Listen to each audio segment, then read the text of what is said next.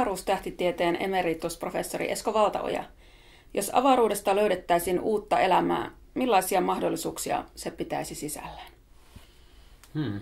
Tota, se riippuu tietenkin ennen kaikkea siitä, että olisiko se älyllistä vai älytöntä elämää. Mutta jos yleensä elämää löydettäisiin, silloin me tiedettäisiin, että me olla yksin.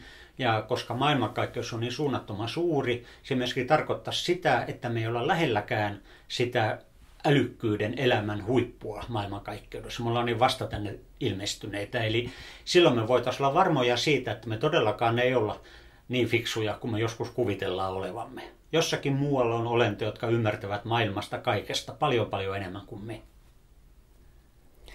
Entä olet sanonut, että demokratiassa toteutuu usein kansakunnan luulo ja pelko tahdon sijaan? Miten se näkyy tämän hetken Suomessa? Äh, no se näkyy tietenkin näillä vanhoilla tavoilla, että ihmiset äänestää, gallupit menee ylös ja alas, poliitikot hyppii kuin säikähtäneet jänikset sen mukaan, onko kannatus noussut prosentin kymmenyksen, vaihdetaan puheenjohtajia ja muita.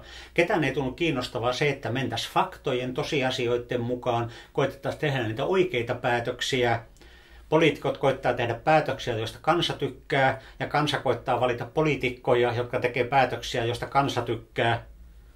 Missä on se asiantuntumus, missä on se järki?